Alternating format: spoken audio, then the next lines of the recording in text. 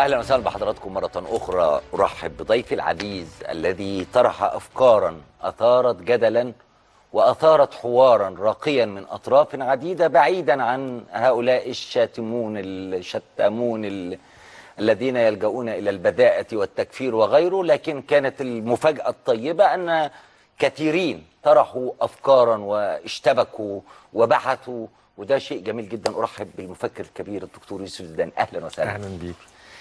دكتور آه، ما وصلت إليه من خلال آه، دراسات وأبحاث. هل هذه كانت قناعة قديمة ولا حضرتك كان رأيك مثل آراء الكثيرين من العلماء من أن هذا هو المسجد الأقصى وبيت المقدس ومؤمن بما جاء من إسراء ومعراج ثم تغير رأيك فيما بعد؟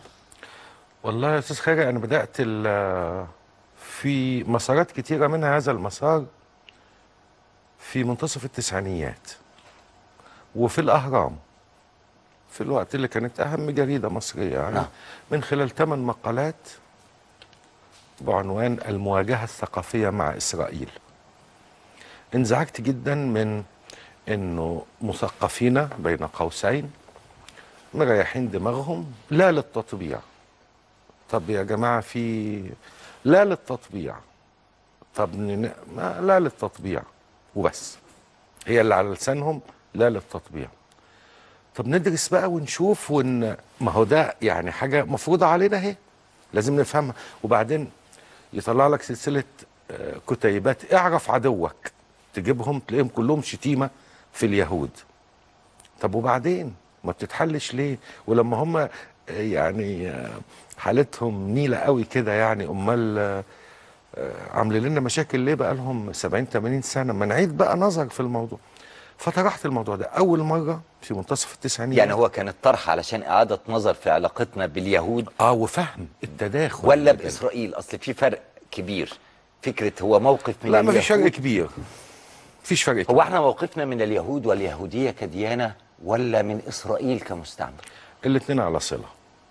ليه؟ لأن دولة إسرائيل قامت على أساس ديني. نعم.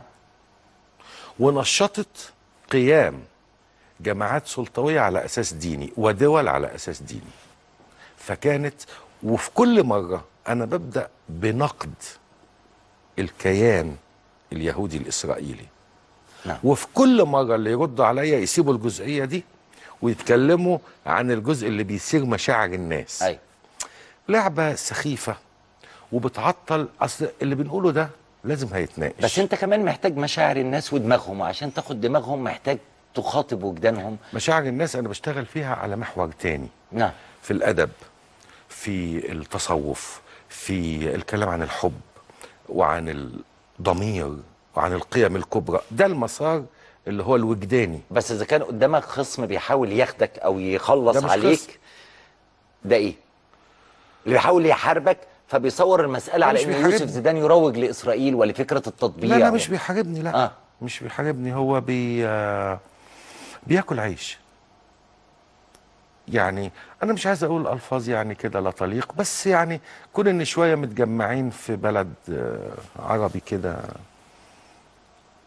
وقاعدين في فنادق هناك و... وكل ما يشوفوا ظاهرة في مصر عايزين يهدوها ده يعني كلام أحقر من إنه ولا إن قناة تنزل لي في الشارع وتجيب الناس اللي هي ماشية. إيه رأيك؟ فلان بيقول بينكر الإسراء والمعراج. وال... والجزيرة قال عامله مش عارف إيه. ما هي نفس الجزيرة دي اللي عاملة عليها قضية عايزة 15 مليون دولار وهي اللي عاملة كذا وهي يعني وبعدين الصراحه محدش يزعل مني يعني. أنا شايف إن الناس دي أصلا لا من جوي ولا ولا هم حتى عارفين بيتكلموا عن إيه مين هم الناس دي؟ اللي, اللي بيقعدوا يهللوا آه. على الفاضي نعم. يعني شوف مثلا لما الدكتور علي جمعة آه رد بشكل محترم جدا وفي ضوء انتمائه الأزهري وانتمائه إلى الأشعرية و... وانتمائه إلى الفقه الشافعي فأنا فاهم هو منطلق منين؟ ن... وفاهم نظام تفكيره أي ولما أرد عليه وعنده منزع صوفي يعني دي أسس واضحة. اهي إنما الجماعة المهللين دول دول ما لهمش مبدأ. نعم. زي زي اتنين النهارده منهم واحد آه، آه، ما خلاص بقى مش لاقيين كلام. فواحد طلع يقول آه عزيزي الروايه آه تافهة والتاني بيقول اللاهوت العربي كتاب ساذج. طب أنتوا يعني متصورين لما تقولوا الكلام ده؟ يعني طيب ممكن أ- أ- هتؤكد لي الأول أو هتنفي لي في موقع رسمي ما تمش تحديثه منذ فترة طويلة. في مقال لحضرتك بيقول إن هذا الموقع بيقول إن كل المنشور هنا هي مقالات وكتابات للدكتور يوسف زيدان. نعم. منهم مقال اسمه القدس بيت المقدس. أيوه. ده مقال حضرتك؟ لا ده موقع أنا عملته في التسعينيات. أيوة. في وقت لما كانت وزارات الثقافة العربية ناسية خالص النت. آه، عشان خدمة الباحثين في التراث. وكان في, في الوقت وقلت في أوله إن ده حاجة أنا عاملها بمنطق السبيل وغير مدعومة من أي شخص ولا من أي حاجة فاليونسكو حبت إنها تدعم الموقع. قلت لهم لا أنا قلت حاجة ملتزم بيها. قالوا طب أعمل حاجة تانية وخليها يعني تبقى مرتبطة بالموقع. فعملت حاجة عن مدن الإسلام. نعم. ده كان في التسعينيات. وكتبت عن القدس وعن غيرها. بس كتبت عن المسجد الأقصى أيوة. وقدسيته أيوة. بمسماه المسجد أيوة، أيوة الأقصى. طبعا. آه، ما مكتوب في هذا المقال يتعارض مع ما وصلت إليه الآن؟ لا ما يتعرضش ما يتعارضش. يعني طب لو وقفت قدام جمل وقلتها لحضرتك قبل ما ندخل؟ لا قبل ما تقول الجمل آه. لازم نتفق على حاجة. نعم. ما هي القداسة؟ القداسة فعل تبجيل مفرط. نعم. وزي ما قال إيميل دوركايم عالم الاجتماع المشهور القداسة تنبع من الجماعه وليس من الأشياء. يعني المكان الموجود الآن في مدينة القدس مدينة إيليا مدينة بيت عمقداش أيوه بقاله 1200 سنة الناس بتصلي فيه هو مقدس عند المسلمين. يعني إيه؟ يعني الناس بتبجله. تمام. زي بالظبط كنيسة القيامة. ما هي مكان مقدس عند المسيحيين. طيب عند المسلمين تعني شيء؟ لا. وهكذا ال- ال- ال- الحرم ال- المكي نعم. الكعبة. ما هي أقدس مقدسات المسلمين. طبعا. طب بالنسبة لواحد هندوسي بالنسبة لحد يهودي لا، تعني الشيء. إذا القداسة فعل اجتماعي. من هذا المعنى وبعد ضبط هذه المفردة بنقول آه طبعا دي مقدسات. لكن حضرتك كنت شايف إنه المسجد الأقصى. يعني إيه إيه ونعود للقرآن الكريم فنجد للقدس إشارات لا تحصى. آه. يقول المفسرون عن قوله تعالى ونجيناه ولوطا إلى الأرض التي باركنا فيها العالمين هي بيت المقدس. وقوله تعالى ووعدنا ووعدناكم جانب الطور الأيمن. أي بيت المقدس. وقوله تعالى ده ك... ده ده آه ده استشهادات حضرتك. آه استشهادات تمام. بالمفسرين. وجعلنا ابن مريم وأمه آيتين وآويناهما إلى ربوة ذات قرار ومعين يعني بين بيت المقدس وقوله سبحان الذي أسرى بعبده ليلا من المسجد الحرام إلى المسجد الأقصى في بيت المقصد كل. هذا- كل ولا تنتهي الإشارات القرآنية كل ده آه، بتؤكد. كل هذا مسبوق بيرى المفسرون. نعم. وبعدين هو أنا يا أستاذ خيري جايب وحي من السماء؟ لا. أنا بعمل ديالكتيك ذهني مش بطرح لكل ال ال الوقت ده اللي كتب فيه الموقع ده يعني في أواخر التسعينيات يعني قربنا على 20 سنة. أيوه طب أنا ال 20 سنة مش مش قاعد ألعب. لا ما أنا علشان كده أنا. سألت الوقت ده- حضرتك أن هذا المقال كان لك وجهة نظر ورأي طبعا. ثم تغيرت وبتتطور مش بتتغير بتتطور نعم. في الوقت ده كنت متهم بأشياء أخرى نعم كنت في الوقت ده متبني إن إحنا أمة تجهل ذاتها وكانوا يهاجموني وأطلع كتاب التراث المجهول في التسعينيات وأقول لهم أدي 30 مخطوطة كل مخطوطة منهم بتفتح مجال هائل للبحث وغير منشورة حتى الآن بقالها ألف سنة فبالتالي إحنا في حالة جهالة بذاتنا وإن الاستشراق بيروح يدرسنا فيعرف عننا أكتر ما إحنا عارفين عن نفسنا فيهاجموني. وكنت أصغر سنا طبعا. إنما مش كل القضايا مفيش حد يعني من أول ما هينطق كده أمال الناس هتطور إزاي؟ وبعدين أنا ببني أفكاري مع الناس. بقول فكرة ممكن أكون غلطان فيها وارد. بما فيها هذه الفكرة. آه ما آه مثلا. تمام. فأنا هنا كنت بجري على المعتاد. ما أنا واحد من الأمة دي برضه أنا مش نازل من المريخ يعني. تمام. وبعدين بنيجي ننظر للأمر. بعد سنين من خلال بقى ال ال ال عامل يهوديات من خلال ال الكتابات ال- المختلفة طول السنين اللي فاتت دي من خلال ال الطرح الأخير اللي هي كانت كلمة زي ما قلت لك في الحلقة اللي فاتت.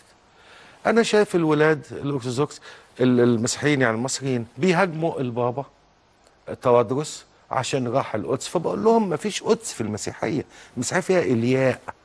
يعني يعني اتحرجوا من الجهل الأول وبعدين بقوا اشتموا ما فكرة القدس وإلياء الردود اللي اتقالت ده أسماء لها أسماء عده يعني. طب وماله؟ أيوة. بس أنا بلفت نظرهم إنه هو لما يروح كنيسة القيامة القدس عند المسلمين مرتبطة بتصورات معينة وعند اليهود مرتبطة بتصورات معينة وعند المسيحيين مرتبطة بتصورات معينة. خلاص؟ تمام.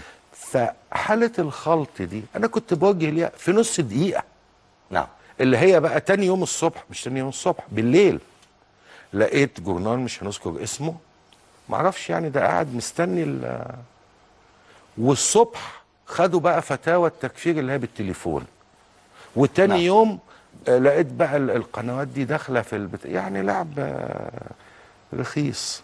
إحنا بنحاول نقدم حاجة لها معنى لها قيمة. يبقى نبدأ من كلام الدكتور. طيب. آه، آه، مش هعرض الفيديو الأولاني اللي زمايلي يعني تجنبوه أنا بس هطرحه على حضرتك اللي هو قال لك إن محمد مرسي ولا حازم أبو إسماعيل في فكرة التدقيق كاتب. الشيوخ كاتب. اسمح لي بس الأول قبل ما أخش في كلام الدكتور علي جمعة أيوه.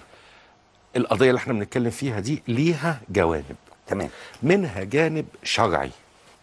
ده اللي هنتكلم فيه واللي اتكلم فيه الدكتور. تمام. وليها جانب تاريخي. تمام. وليها جانب سياسي. خلاص؟ تمام. فاحنا دلوقتي هنتكلم في الجانب الشرعي. تمام. الملاحظات الأولى. هو طبعا آه، دكتور علي جمعة بالنسبة لي يعني أنا أحطه في مرتبه الأساتذة يعني. فلما يقول حاجة لازم أهتم بيها. فهو بيقول لي اضبط اللغة. أيوة. أقول له حاضر.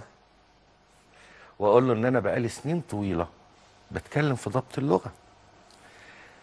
فلما نيجي لحتة شيخ مثلا يعني في المعنى اللغوي لو حد طعن في السن وفي المعنى الاجتماعي اللي إحنا بنستعمله في كلامنا العامي إن واحد لابس عامة وبيتكلم باسم؟ الدين. آه ملتحي. آه. فحتى لو كان عنده 20 سنة ودخل الأزهر وبتاع بنقول له يا شيخ فلان. خلاص؟ فأنا لما بقول إنه المشايخ دول اللي قعدوا يحصروا مش عارف إيه ويعملوا إيه دي دي ما كانتش سلوكيات جيدة. فهنا الشيخ بالمعنى ال- أيوه حاجة تانية برضو من حيث ضبط اللغة. الراجل بيقول لي تب إلى الله. فأنا بقول لك يا سيدي ما أنا بتوب كل يوم ثلاث أربع مرات وكان النبي يتوب فهو قال لك الدكتور كان بيستغفر 100 مرة في اليوم طيب بنفكره بس نقول له يا دكتور علي الحديث ده له كذا شكل. إنه آه إنه لا يغان على قلبي فأستغفر ربي في اليوم والليلة مئة مرة. وفي صيغة أخرى سبعين مرة. تمام. وفي صيغة أخرى فأستغفر ربي وأتوب إليه سبعين مرة. وهو يعلم دكتور علي إنه الصوفي الفيلسوف العظيم محمد بن عبد الحق بن سبعين من أهل القرن السابع الهجري هو لقبه ابن سبعين. كان يسأل عن سر هذا اللقب فكان يرد أنا ابن مراتب توبة النبي في اليوم والليلة. نعم. فبالتالي وفي الحديث الصحيح الندم توبة.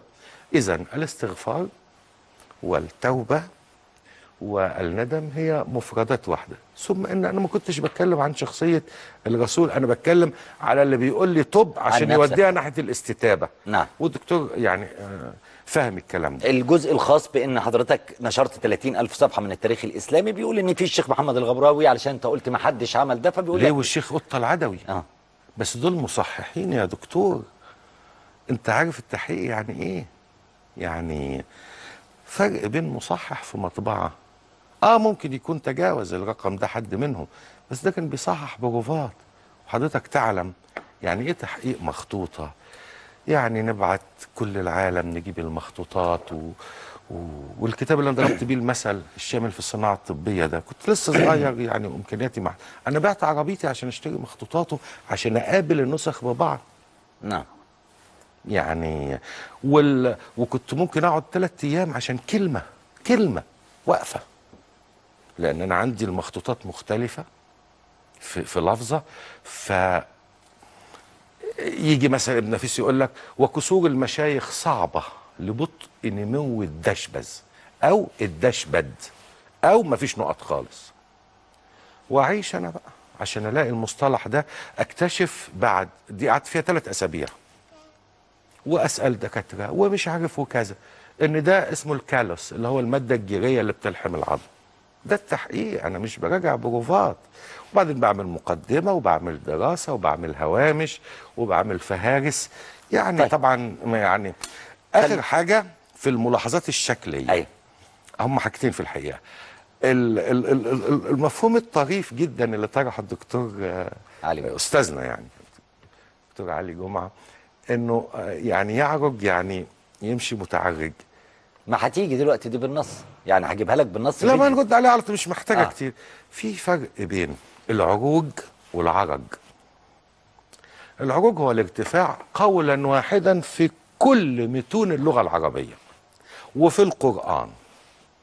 يعني إن, إن الله بيدبر الأمر من السماء إلى الأرض وإليه يعرج. يعني يرتقي.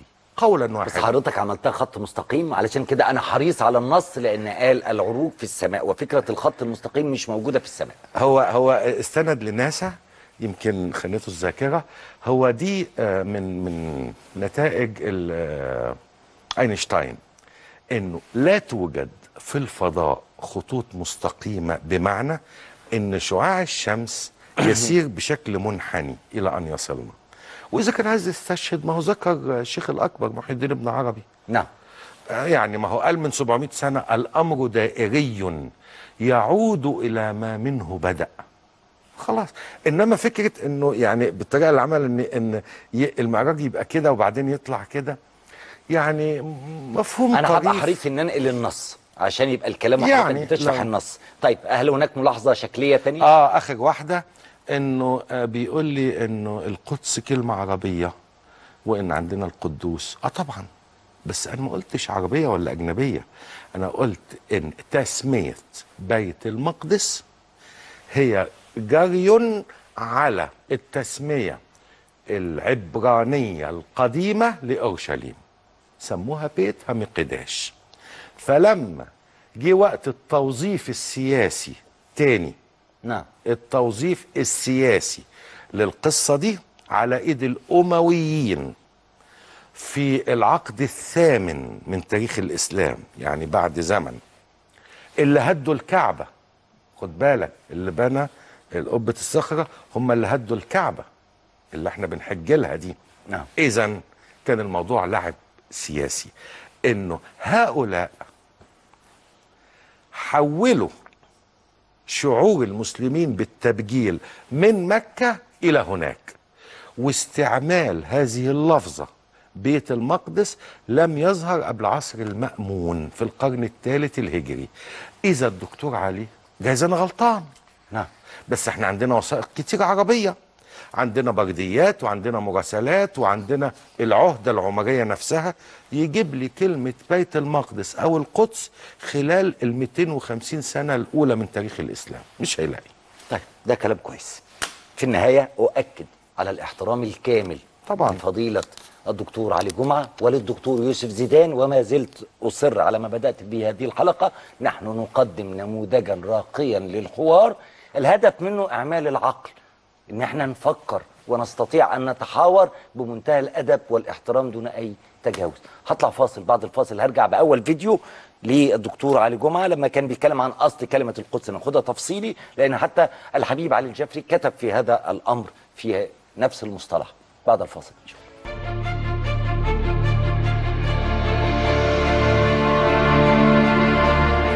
اللي ذهب إليه الدكتور يوسف زيدان ليس هو أول من قال هذا. سيادة الدكتور أخذ بال- بالحجة دي هيحط نفسه في ورطة كبيرة جدا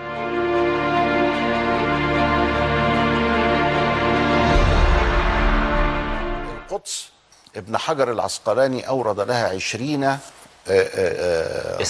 عند وكانوا لما كنا نجلس مع اليهود في المؤتمرات العالمية وكذا يقول لك ده القدس موجودة 72 مرة عندنا في ال- التوراه.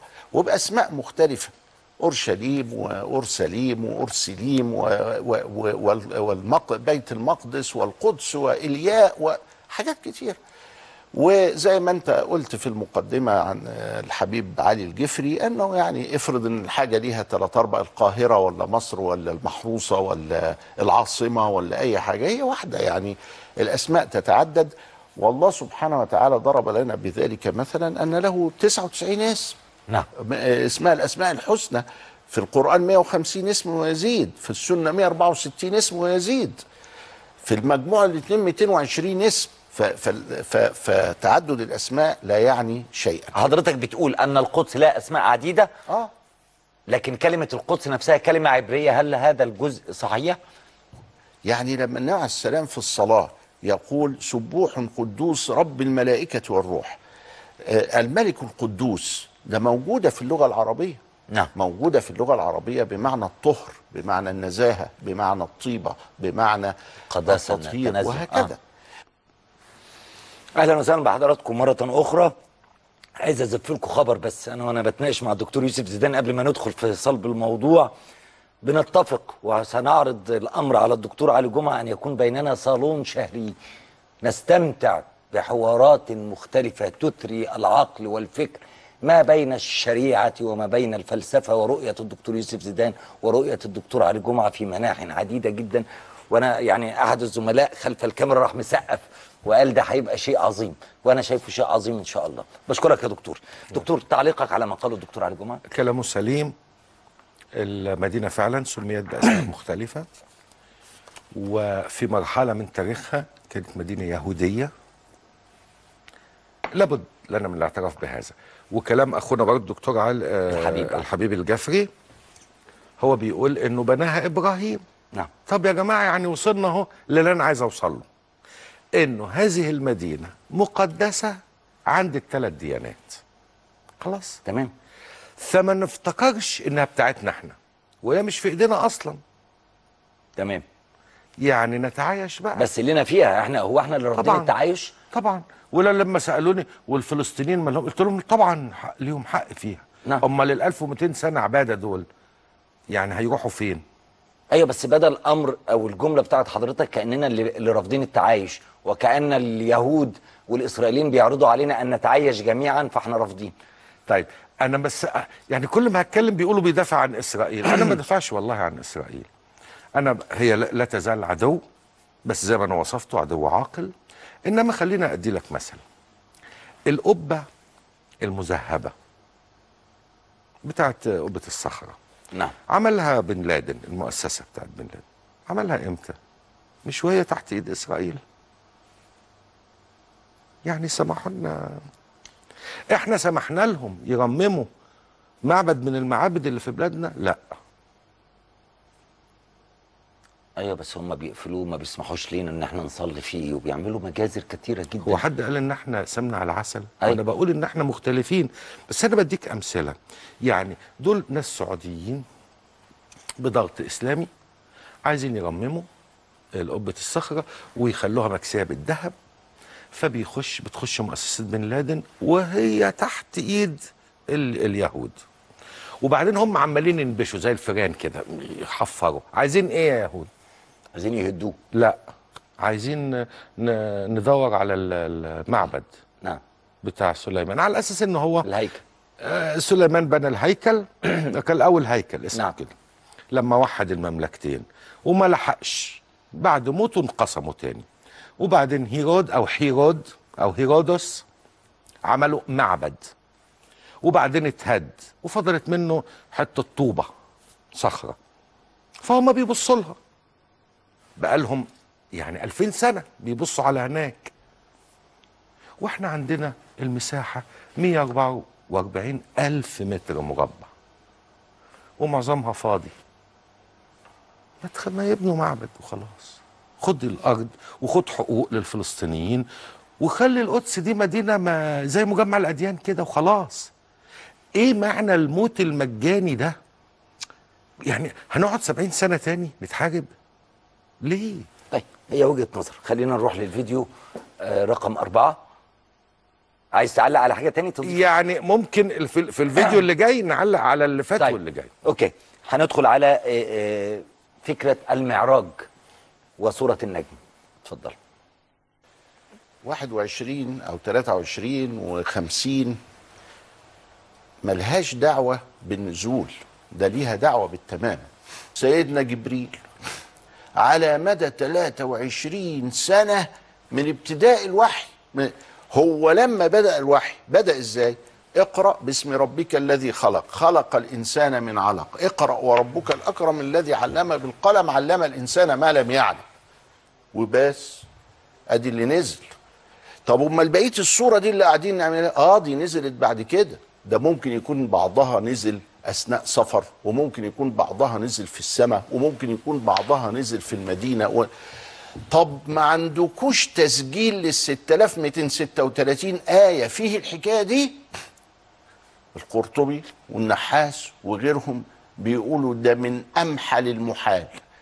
أنت عارف مين اللي يقول لك عليها؟ مين؟ اتنين في الكون سيدنا النبي وسيدنا جبريل. هنا بقى الحتة بقى اللي أنا إيه يعني عايز بس أنبه اليه نعم. وده ترتيب الأزهر.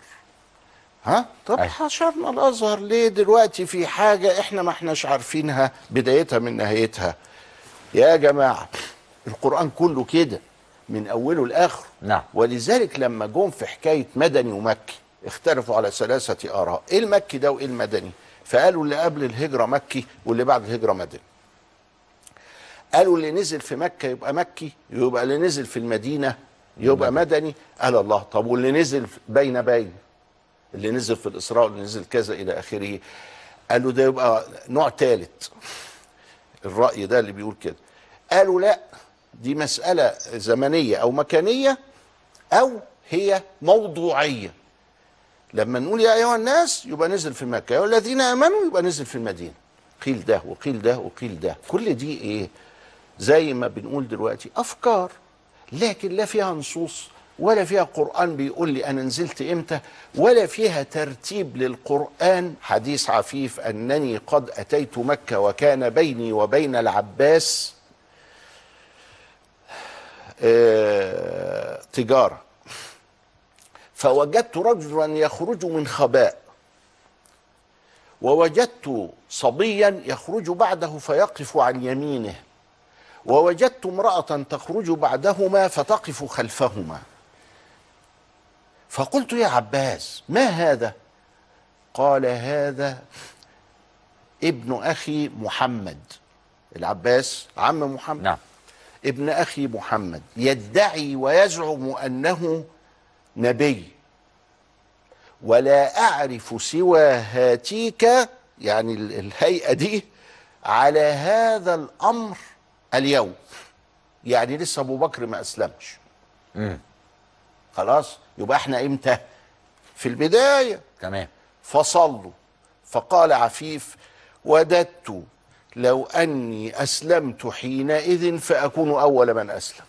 تبقى الصلاة فرضت في المدينة لا الكلام ده غلط. نعم. الصلاة فرضت في مكة من أول يوم. الإسراء أطلق على هذه الرحلة كلها. نعم. ما كذب الفؤاد ما هيش رؤية لأن ال- الرؤية لا يراها الفؤاد إنما يراها العقل الباطن. اتفضل يا دكتور. يعني معظم اللي قاله أنا موافق عليه. تمام. إنما تركيبته يعني ليا ملاحظات عليها. اتفضل.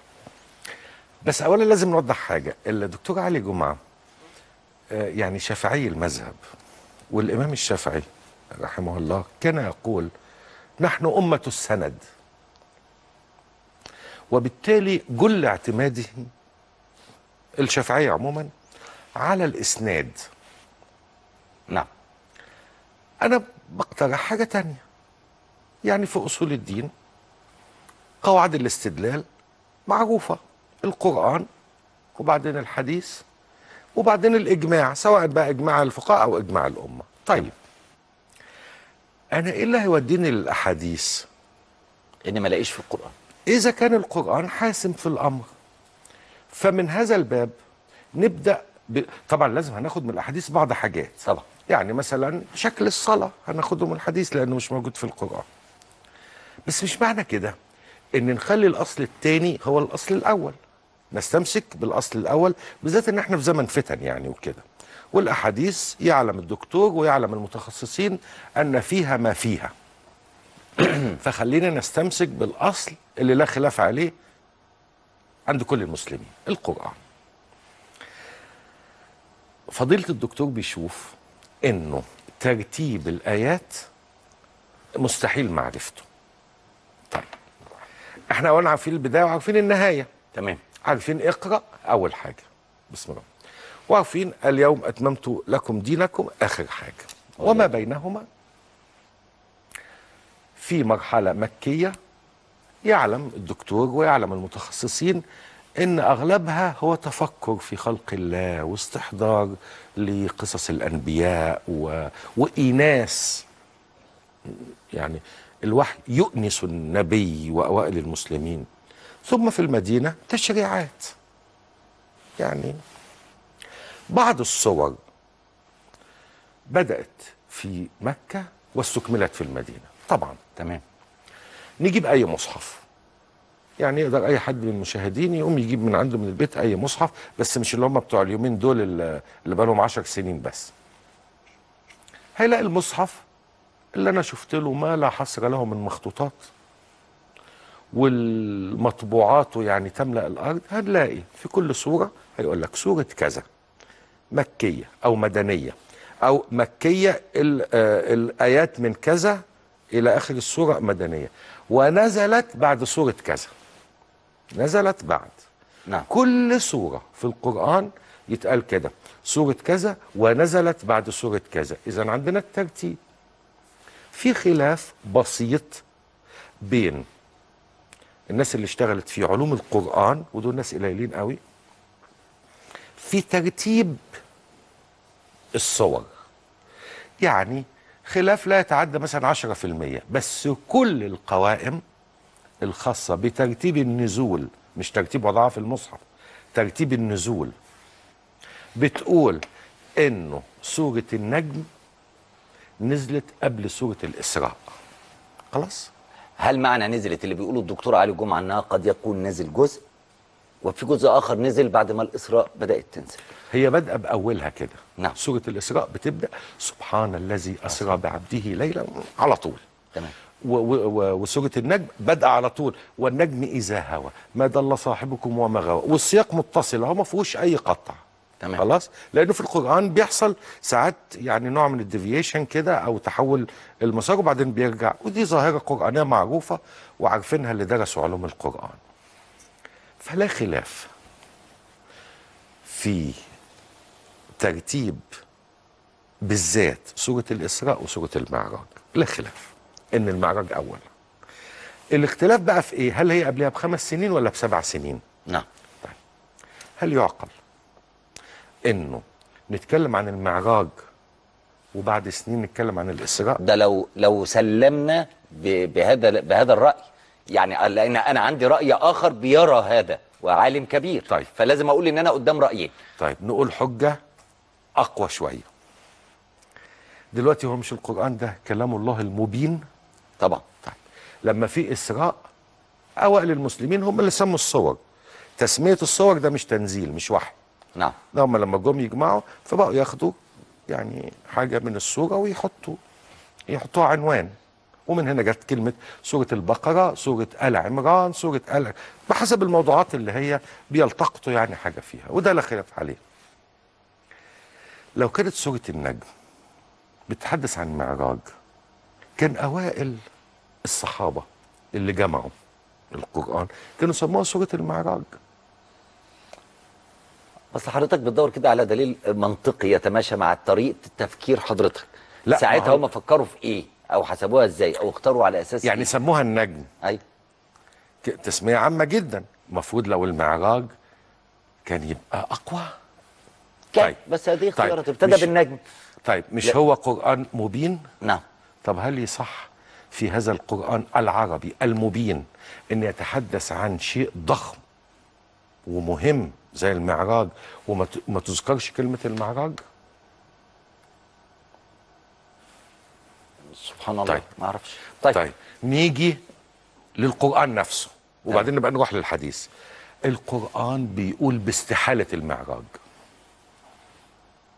ليه؟ اهو أنا جايب النصوص اهو بس عشان إيه ما نجيش نغلط في كلمة فيقعدوا آه، في سوره الإسراء نفسها. بعد ما خلص الكلام عن الإسراء تمام. قال وقالوا لن نؤمن لك. حتى وهيبدأ يحط شروط. تفجر لنا من الأرض ينبوعا أو تكون لك جنة من نخيل وعنب. فتفجر الأنهار خلالها تفجيرا. أو تسقط السماء كما زعمت علينا كسفا. أو تأتي بالله والملائكة والملائكة قبيلا. أو يكون لك بيت من زخرف. أو ترقى في السماء. ولن نؤمن لرقيك. يعني شوف شروط عشان نصدقك. كذا أو كذا أو كذا أو ترقى إلى السماء. ولن نؤمن لرقيك حتى تنزل علينا كتابا نقرأه. القرآن بيرد عليهم بيقول إيه؟ على لسان النبي. قل سبحان الله. هل كنت إلا بشرا رسولا؟ يا هطلع السماء إزاي؟ طيب في آية تانية. ما كان لبشر أن يكلمه الله إلا وحيا. يعني كده أو من وراء حجاب لازم فاصل. أو يرسل رسولا اللي هو بإجماع المفسرين جبريل فيوحي بإذنه ما يشاء. إنه اللي هو ربنا يعني سبحانه علي. شوف التسمية. علي حكيم.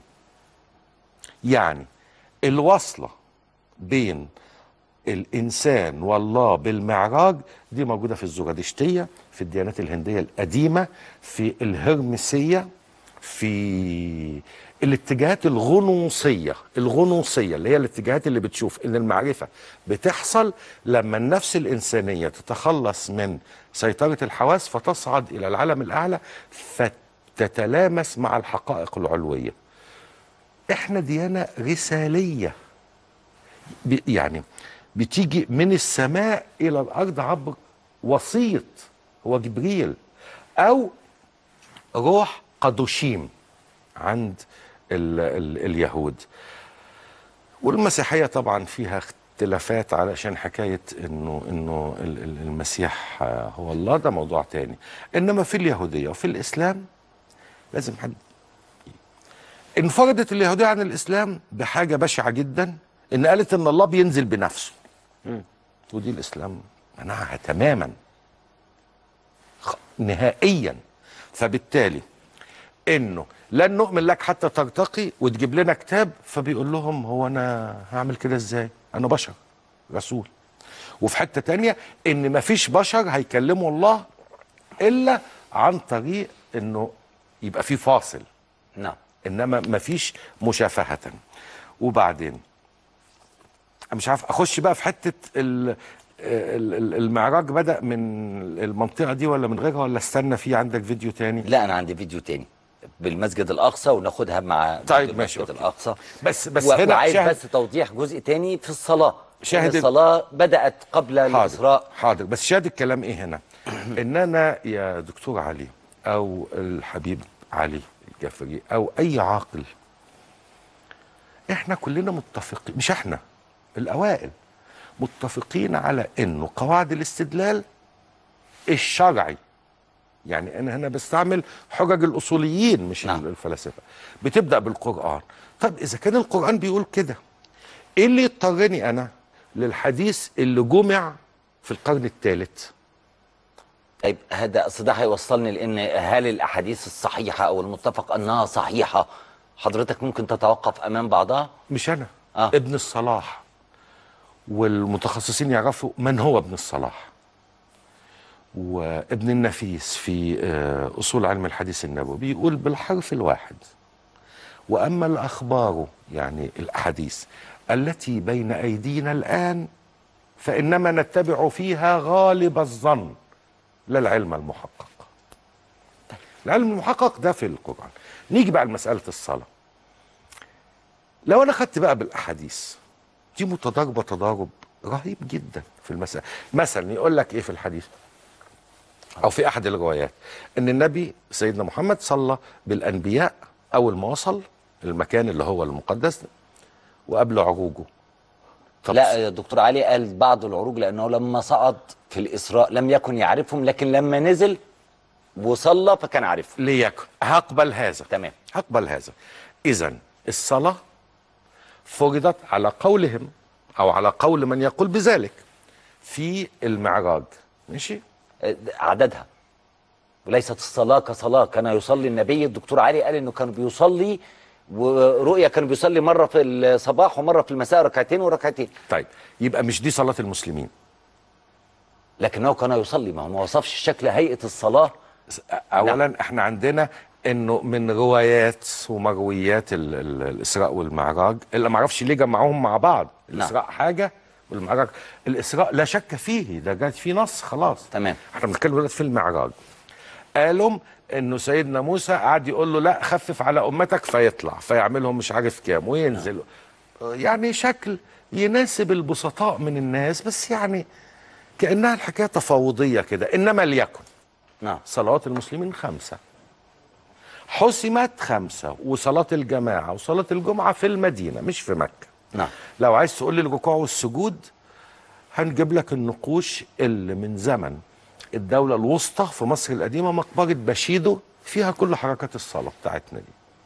يبقى إذا العبرة في الصلاة مش بالشكل. ما هو السجود طول عمره موجود الركوع طول عمره موجود. اذا كان الرسول في مرحلة يؤدي بشكل وبعد الإسراء أصبح هناك شكل آخر. حلو. الإسراء. أنا بجتهد أنا يعني ليس لا لا لا ليكن. آه. الإسراء. ولو ضفنا له المعراج حصل بلا خلاف في الزمن المكي مش كده؟ نعم. والصلاة بتاعت المسلمين خدت شكلها النهائي في الزمن المدني. تمام. طب ليه ما طبقتش بقى في في, في الزمن المكي؟ يعني الشكل اللي إحنا بنصلي بيه ده ونعرفه ونقول دي صلاة المسلمين. وبنقول أو بنعتقد إنها فرضت في المعراج. تمام. على اعتبار إنه موجود المعراج. تمام. طيب ليه ما ما صلوهاش وهم في مكة؟ ما كانتش موجودة ساعتها. اذا كان المعراج موجود والصلاة مش موجودة. لا أنا بتكلم على ما قبل المعراج. اللي قاله الدكتور علي جمعة ما قبل المعراج اللي حضرتك بتستدل على عدم وجود الأقصى لأنه لم تكن هناك لا صلاة. هنروح للأقصى. أنا دلوقتي في حتة الصلاة. لا أنا بتكلم ما هي رابطها الدكتور علي بالأقصى. فرضت هنروح للأقصى بتقول دلوقتي. إزاي صلى وكانت لسه الصلاة ما فرضتش؟ دي لا دي قلت لك هجيب لك حاجة أقوى. تمام. الشكل النهائي لصلاة المسلمين تم بعد وضعه المعراج. تم وضعه في يثرب في المدينة المنورة. خلاص بعد الهجرة. نعم. وقول من يقول بالمعراج كلهم بلا خلاف بيقولوا إنه حصل في المرحلة المكية. نعم. قبل الهجرة. طب إذا كان قبل الهجرة وفرضت الصلاة بشكلها النهائي ده فيه طب ليه ما تصلتش هنا؟ ليه الانتظار كل ده؟ نعم. ما ينفعش. سنين أنا طويلة. لا املك الرد. يعني أنا ما أقدرش أرد. أنا حضرتك طرحته ده كويس. نروح بقى للمسجد الأقصى. هطلع فاصل آخر فاصل. فواصلكم كتير قوي، آخر مش واحد معقول والله. كده آخر واحد معلش. هنطلع فاصل ونرجع نكمل باقي عندنا فيديو كمان الفيديو الأخير. آه أوكي. نلتقي بعد الفاصل. النبي اعتمر أربع عمرات يا اخوانا عمرة الحديبية واتمنع. تمام. والعمرة القضاء تاني سنة. طبقا لاتفاق الحديبية قال لهم أنا هاجي تاني سنة معتمر فجوه وفعلا آه، عمل العمره والعمرة الثالثة مع فتح مكة وبعد حرب حنين أو معركة حنين راح ذهب إلى الجعرانة. الجعرانة دي اللي إحنا بنسميها دلوقتي مسجد عائشة. فلما ذهب إلى الجعرانة كانت في السنة الثامنة مش وهو رايح الطائف. يعني بعد ذهابه إلى الطائف ب 11 12 سنة. ليلة الأربعاء لاثنتي عشرة بقي بقيت من ذي القعدة ليلا. فأحرم من المسجد الأقصى الذي تحت الوادي بالعدوة القصوى. وكان مصلى رسول الله صلى الله عليه وسلم إذا كان بالجعرانة. فأما هذا المسجد الأدنى يعني في مسجد تاني. أقرب. واحد في بداية الوادي واحد في آخر واحد الوادي. اقرب واحد أبعد. إحنا هنا في مدينة الإنتاج الإعلامي. نعم. المسجد ال- ال- الأقصى الحصري نعم. لأنه أبعد. المسجد الأدنى فاضل مسجد فاضل. واخد بال سيادتك؟ لأنه قدامنا أهو. نعم. يبقى إذا الأدنى والأقصى دي صفة مش اسم. نعم. يبقى لازم نفرق بين الصفة وبين الاسم. إيه الصفة؟ قالوا لنا إيه في الأزهر عليها وعلمونا. قال لك الاسم علم على الذات. إيه العلم على الذات ده؟ إذا أطلق انصرف الذهن إليه. يعني إيه؟ خيري. أول ما أقول لاخواننا هنا هو فين خيري؟ يقولوا لي أهو ده موجود في الاستوديو جوه أهو. نعم. بيسجل أو بي على الهوا ليه؟ اشمعنى ما, ما, ما قالوليش يعني آه، خيري هنعمل خير يعني ولا؟ نعم. لا. ده اسم ما هو الصفه والصفة؟ الصفة معنى قائم بالذات. الخيري. أقول لك يا أخي ده أنت صاحب خير كتير. نعم. واخد بالك؟ أنت اسمك حسن بس حسن ده يعني حسن الوجه يعني ولا هو اسمه حسن في شهادة الميلاد؟ حسن في شهادة الميلاد ده اسم. أنت رجل حسن دي صفة ممكن موجودة في كل حاجة. طيب. فالنبي عليه السلام كان يحب الجعرانة دي قوي لأنها على بعد 25 كيلو من مكة. وخلى عائشة وهي في الحج بقى حجة الوداع قال لها روحي بقى احرمي من الجعرانة بالعمرة. قالت الناس هتروح بعمرة وحج وأنا هروح بحج. قال لا لا فأحرمت فسموا المسجد ده اللي هو بيسميه المسجد الأقصى مسجد عائشة موجود لغاية النهارده. نعم. الوادي له أدنى وله أقصى. أبعد أقصى. نعم. فالعدوى القصوى العدوى يعني الحتة يعني الجهة. الحتة البعيدة القصوى دي هي المسجد الأقصى. إيه علاقة ده بالمسجد الأقصى بتاع الإسراء؟ أهلا وسهلا بحضراتكم مرة أخرى. أهلا دكتور يوسف اتفضل.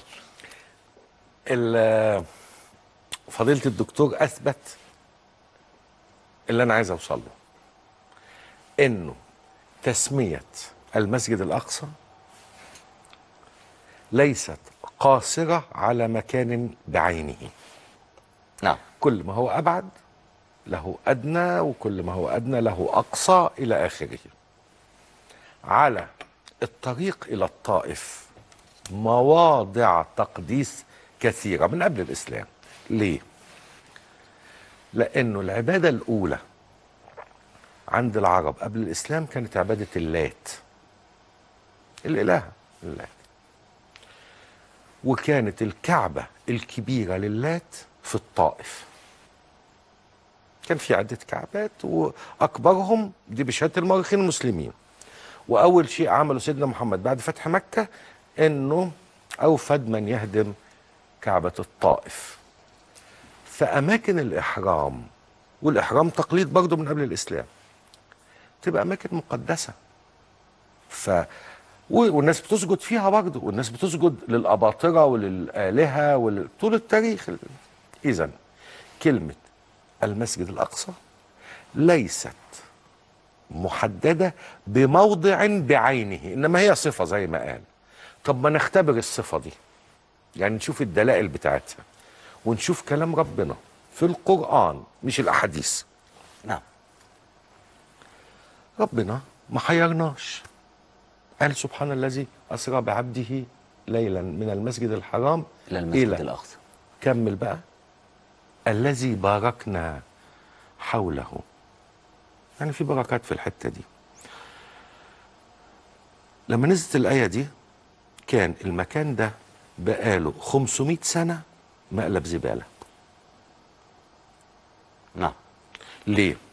لأنه لما الرومان دمروا المدينة اليهودية المقدسة وأنشأوا أو أنشئت لاحقا مدينة مسيحية فالمسيحيين بينهم وبين اليهود حزازات عشان بيعتبروا إن هم وشوا بالمسيح.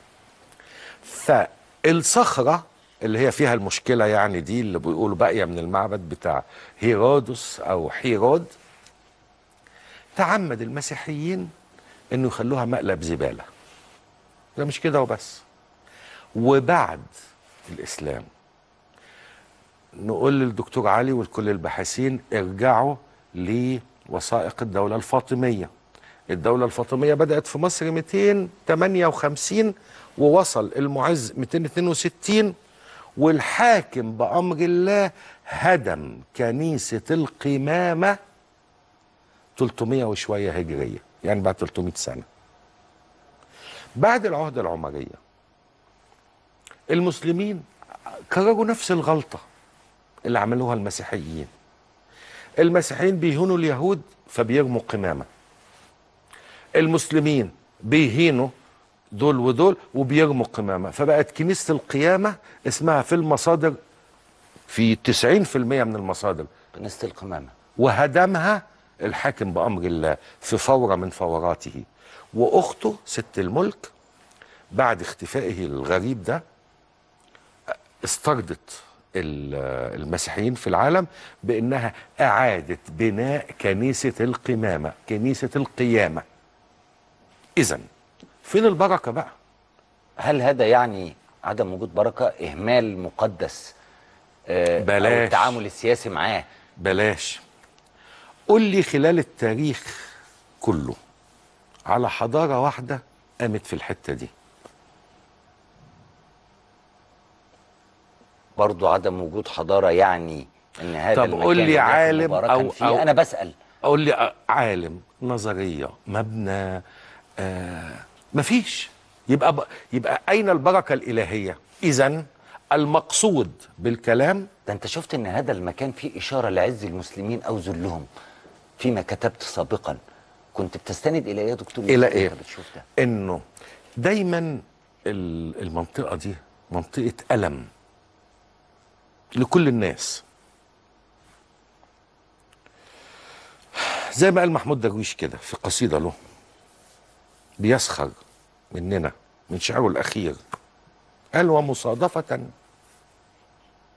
صارت الأرض ارضا مقدسة ليس لأنها نسخة عن فراديس علوية بل لأن نبيا تمشى هناك وصلى على صخرة فبكت وهوى التل مغشيا عليه من خشية الله.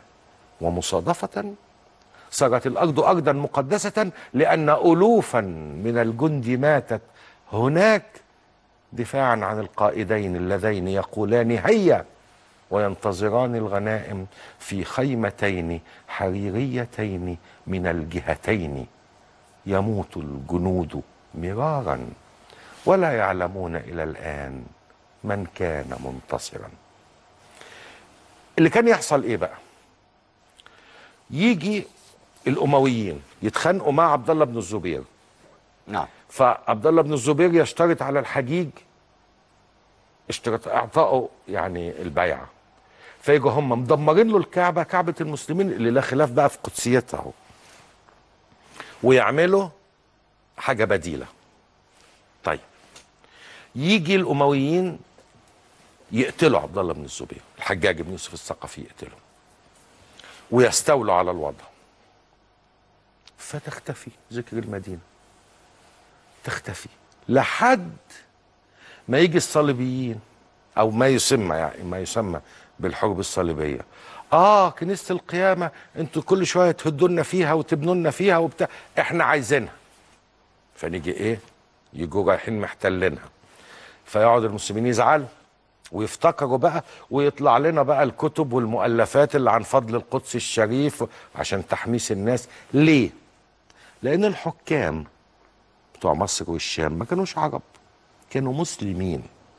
فالأداة اللي ممكن يبرر بيها مشروعية حكمه هي الجزء الديني. يبقى عايزين نحرر القدس. ليه؟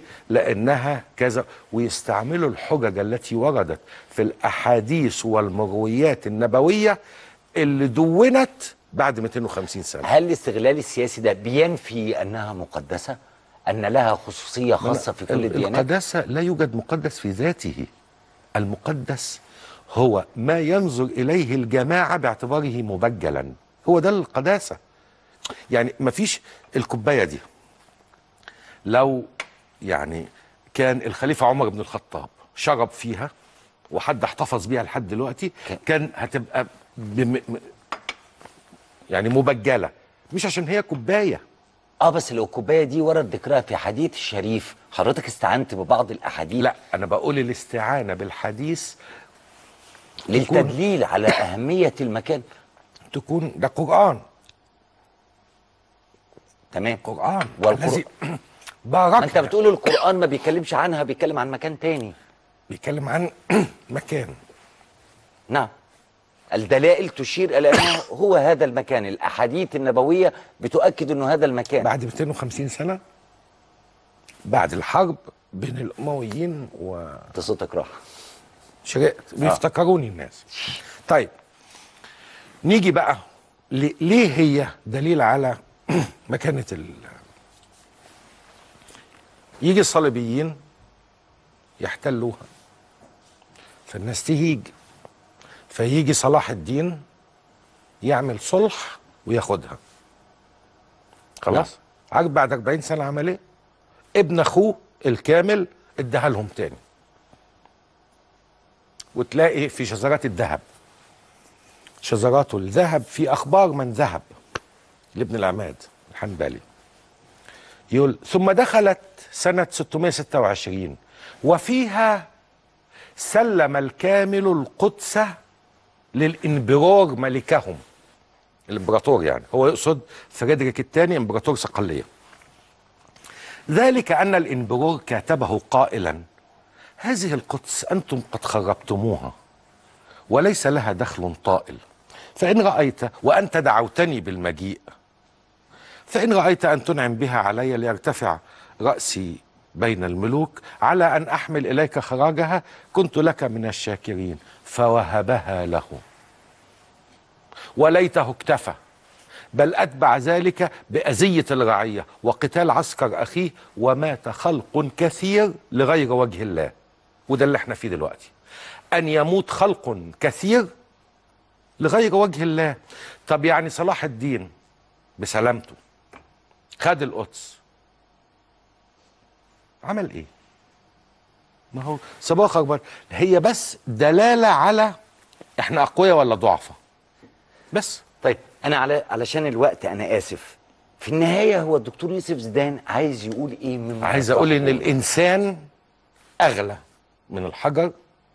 عايز أقول إن الروح أقدس من فهمنا للنصوص. مش هقول للنصوص من فهمنا للنصوص. عايز أقول إن القرآن ما دمنا مسلمين يبقى القرآن هو الحجة الأولى. ما نعكسش الأمر. يعني الدكتور علي جمعة بيستشهد ابن حجر وابن حجر غالبا يعني في إتحاف الباري بشرح صحيح البخاري. دي أحاديث كتبت بعد 200 سنة على الأقل. إنما القرآن هو موجود من الأول فأنا ليه هسيبه؟ وهو واضح ومحدد وأروح للمناطق الخلافية. إنما نهاية الأمر إيه؟ إن إحنا قدامنا حاجة من الاتنين. يا إما نتعقل الأمر وكفاية بقى موت مجاني ويبقى عندنا مجمع أديان ومدينة عالمية. يا إما نقعد 70 سنة نتحارب تاني وبعدين في الآخر هنعمل كده برضه. طيب توضيح أخير. آه، نور إيمان بتقول إن بن لادن لما من قبة الصخرة ده كان قلب حرب آه، قبل حرب 67 وكانت منتهية في الحرب. وبتقول إن الكلام ده الكلام اللي حضرتك بتقوله مش صحيح لأن بن لادن حتى بعد الحرب لما هم استولوا عليها ما عرفش ياخد حاجته ولا ما طب بس كانوا يقدروا يمنعوه. في هذا الوقت ما كانتش تحت ولايه لا يقدروا يمنعوه يقدروا يمنعوا الناس من صلاة الجمعة في المسجد الأقصى. ما هم أصل خد بالك إحنا بنبص دايما من زاويتنا. نعم. إن ده بتاعنا. ما هم من زاويتهم إن المكان ده بتاعهم. زين مسلم بيقول هل العرب زوروا في تاريخ القدس أم المستعربين وإذا كان ذلك فهل الصهيونية لها يد في ذلك؟ لا هم كان لما يحبوا يخلوا عواطف الناس يعني تهتاج وتبقى مؤيدة للحكام ال- ال- اللي موجودين في الوقت ده. وفي مشكلة عند القدس يلا يا جماعة وتطلع لنا بقى العليمي ومش عارف مين ومين ويكتب كتابات. أول ما يبقى ما فيش تهمل. ما في طب يعني آه، آه، إسرائيل قامت سنة 47 ولا 48 طب يعني طول ال 800 سنة دول يعني لا شفنا جامعة اتفتحت هناك ولا ولا العثمانيين اهتموا بهناك ولا علم طلع من هناك ولا خضرة جت هنا. في يبقى فين ألو... اذا يبقى المسجد الآخر أنا بحاول أخفف من ضغط الحجة المشتقة أو المستفادة من الأحاديث بالرجوع إلى القرآن مش بنكر الحديث ولا حجيته بس بقول ده في الدرجة الثانية عشان ده بيحصل منه القرآن خلافات. كتير ما هي ما هي داعش بتاع بتستند لإيه؟ لأحاديث وروايات. أنا بقول ما دام في زمن فتنة وحرب ومشاكل خلي دي كده على جنب ونيجي لهنا. يا جماعة المدينة دي اللي مسمينها مدينة السلام هي مدينة وجع القلب من 2000 سنة. يعني لم تشهد إلا حروب ودمار وتقطيع. فكفايانا بقى. نظرة عميقة بتقول لك إن المسجد الأقصى بناه الأمويين. ب... أنت قلت كده بس ده مش صحيح. اللي تقصده مسجد قبة الصخرة وليه عندك عقدة من الأرياف وبتبص لها بدونية ليه ده أنا مولود في الصعيد في, آه. في قلب تحت شجرة. ليه هيبقى نعم عندي؟ حضرتك كنت تقصد مسجد قبة الصخرة. ده لما بنخش في التفاصيل آه. بقى. وطبعا الوقت ما كانش خلاص الوقت بص المكان المقدس ده فيه حوالي 200 مشهد. أشهرهم حاجتين. ال- ال- المسجد اللي الناس بتصلي فيه الجمعة دلوقتي وده قصته يعني معروفة. آه، أول ما جه الخليفة عمر كانت كوم زبالة فبدأ يشيل وبعدين عمل تحويطة كده مصلى طيب. للمسلمين. وبعدين الأمويين لما اتزنقوا مع عبد الله آه، ابن الزبير بدأوا يهتموا بالمنطقة دي. وكان جزء من الاهتمام بناء المسجد وبناء القبة. والقبة أنهاها الوليد بن عبد الملك بن مروان. ودول ناس يعني فيهم ما فيهم. مش دول ال- الح... الإسلام ما انتصرش بهؤلاء الحكام. الإسلام ارتفع شأنه بأمثال ابن سينا. وابن النفيس والغازي. دول دول والفنانين اللي عملوا لنا العم ال- العمارة دي والناس اللي غنوا للحياة مش اللي عملوا حروب. نعم. بس نستفيد بقى من التاريخ ده. فرحات الكبيرة عشان اريحه هل تؤمن بفكرة المهدي المنتظر وبعلاقته بما يحدث في سوريا من قبل داعش والصهيونية المسيحية في أمريكا والتعجيل بنزوع المسيح؟ المهدي المنتظر وردت فيها أحاديث عند عند السنة وعند الشيعة كلاهما بس الشيعة أكتر يعني لأن هم كانوا أكثر اضطهادا.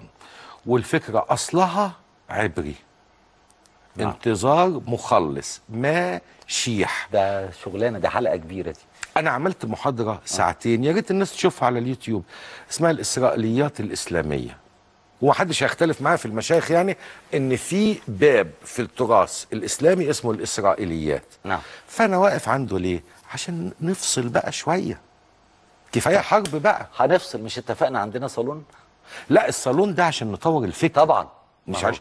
يعني دي مش قضية في ال- طبعا. يعني دي قضية محسومة بالآتي. إن المكان مقدس عند الثلاث ديانات فليكن للثلاث ديانات. ولازم نأسس طرحنا على كده وإن المدينة دي يملكها يهود ومسيحيين ومسلمين. ده حق الله مش هنقعد. نتخانق طول العمر. إنما ليه نعمل صالونات؟ وليه أنا بعمل صالونات؟ وليه بروح وباجي؟